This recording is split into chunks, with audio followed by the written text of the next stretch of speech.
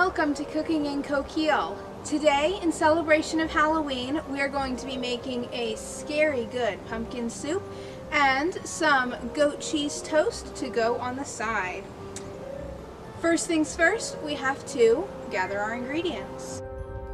Obviously, the most important ingredient in our pumpkin soup is our pumpkin.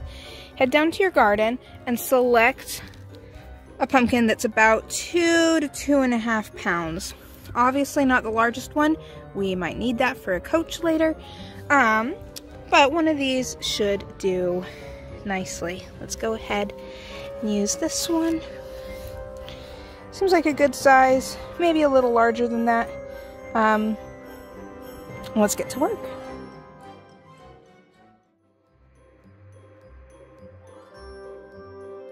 Once you have everything that you need, let's get started. We are going to start with our pumpkin or squash. To be cooking in your cauldron, first you start by dicing up your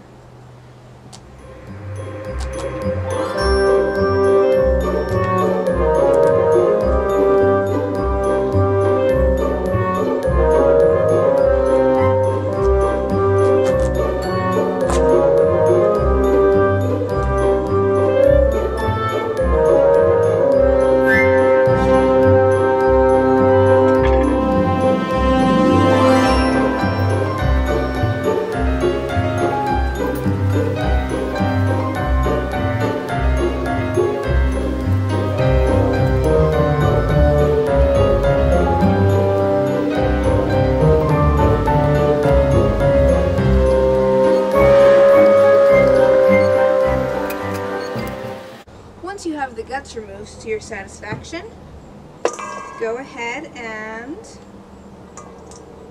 dice it up.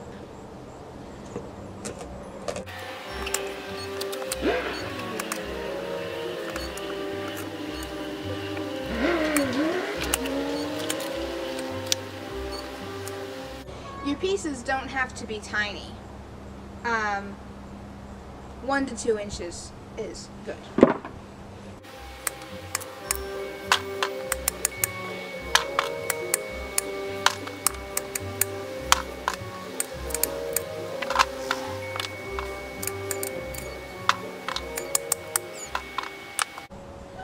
And then put that in your cauldron and let it simmer for about 45 minutes.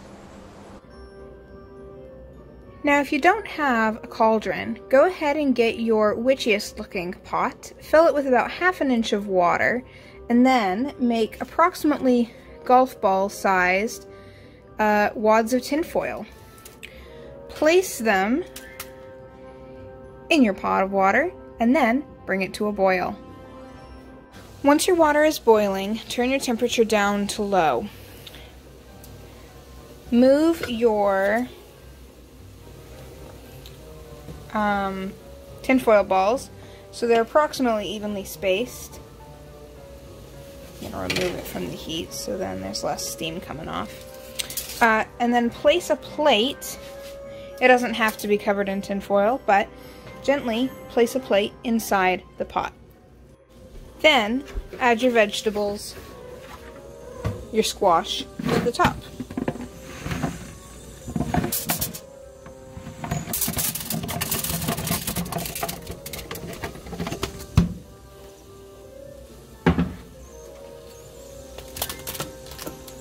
Spread them out.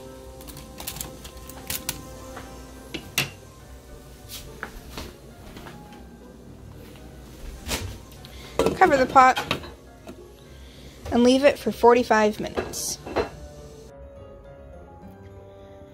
Once your squash or pumpkin has been cooking for about half an hour, go ahead and start your toast. Go ahead and slice your goat cheese logs into a quarter to an eighth inch pieces. Uh, you'll find that goat cheese is very soft, and if it bunches and crumbles, uh, that's totally fine. Um, it still will taste delicious. Once you've sliced your cheese and arranged it tastefully upon your bread slices, go ahead and season to taste with some salt, pepper, nutmeg, and a little bit of your local garden herbs.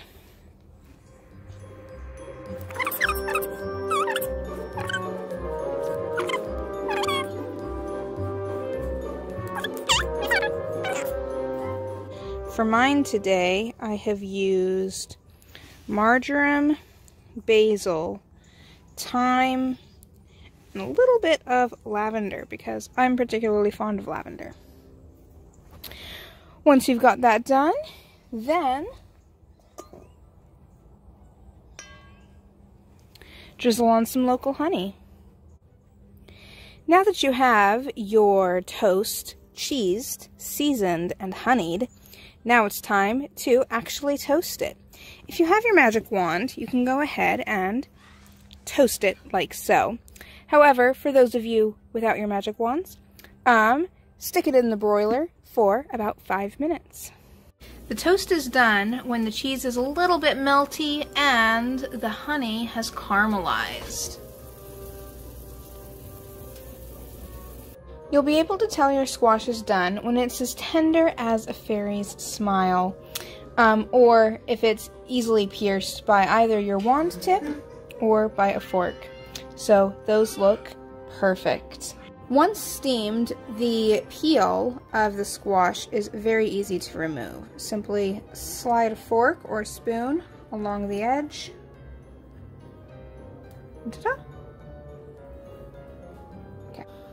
Once the peel has been removed, add your squash to a food processor and then contribute a little bit of water from the pot. Um, and let's blend it up.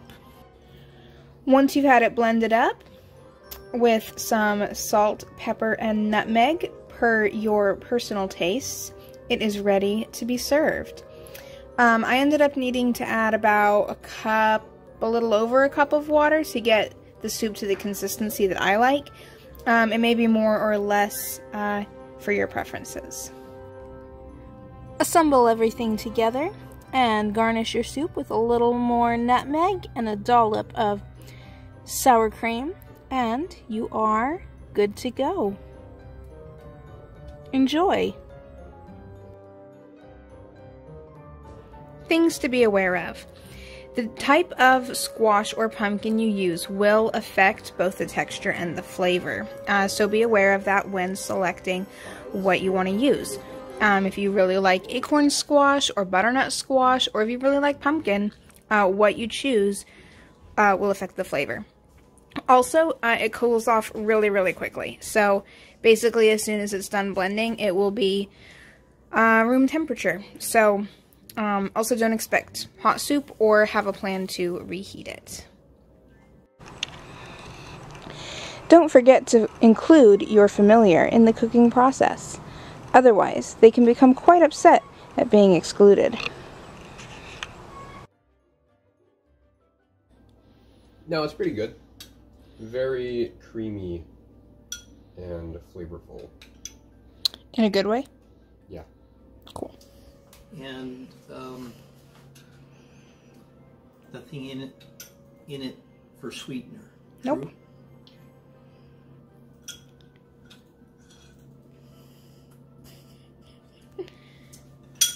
It has a unique texture and a mellow flavor.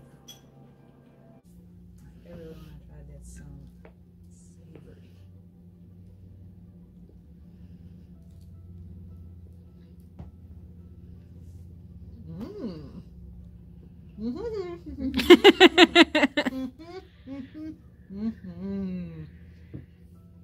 cool. Mm-hmm.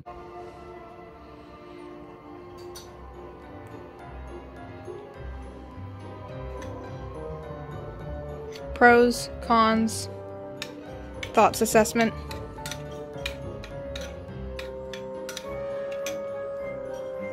Cool beans. You had me at goat cheese.